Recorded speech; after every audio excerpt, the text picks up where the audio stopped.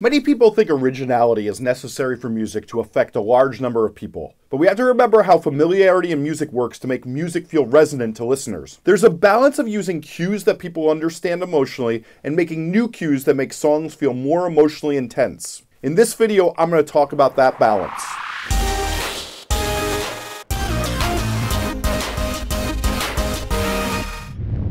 Hi, I'm Jesse Cannon and this is Musformation. Our brains are wired to respond to repetition and familiarity, which actually gives originality a disadvantage.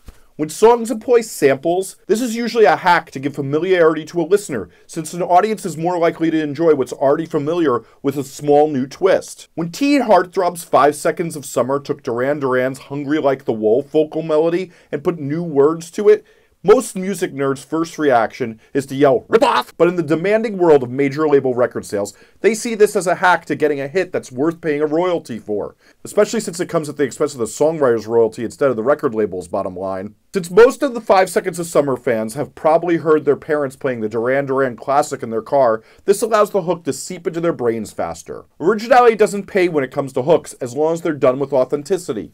We actually deride music that's too original. If a song sounds too unfamiliar, containing little cues for emotions we've grown to understand, it's hard for us to have an emotional reaction to it.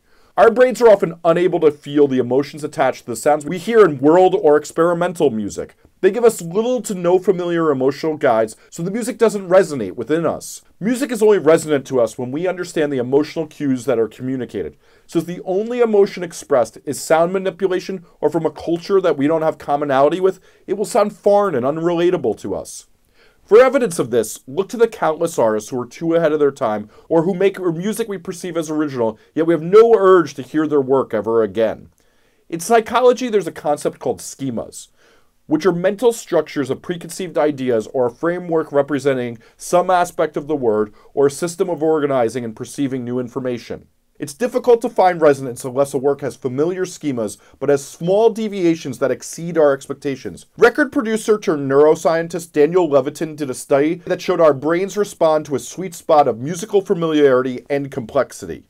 To make music resonant within ourselves as well as others, we have to follow what's expected and deviate in small ways that increase resonance. Musically, to feel resonance with a song, we must hear emotional cues we're familiar with, along with a few new cues that up the emotional ante to give us more resonance. Note that for these new cues to be effective, they must augment the resonance of the song since new for new's sake doesn't hold emotional currency.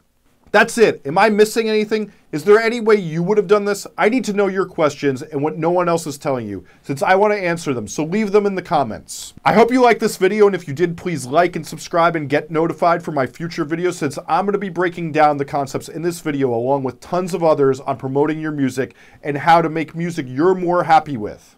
As well, I have a Facebook group that's linked below that is only helpful information. No one tried to sell you anything, playlist or con artists, only helpful information for musicians looking to be better themselves. If you want to learn more about me, make a record with me, or check out any of my books, podcasts, or anything else I do, head to jessecannon.com or at jessecannon on any of the socials. Thanks for watching. One last thing, if you liked this video, there's two playlists here with tons more videos that you'll probably enjoy. One's about how you promote your music, and the other's about how you make songs you're happy with. Otherwise, you can hit the subscribe button here to see the rest of my videos. Thanks so much for watching.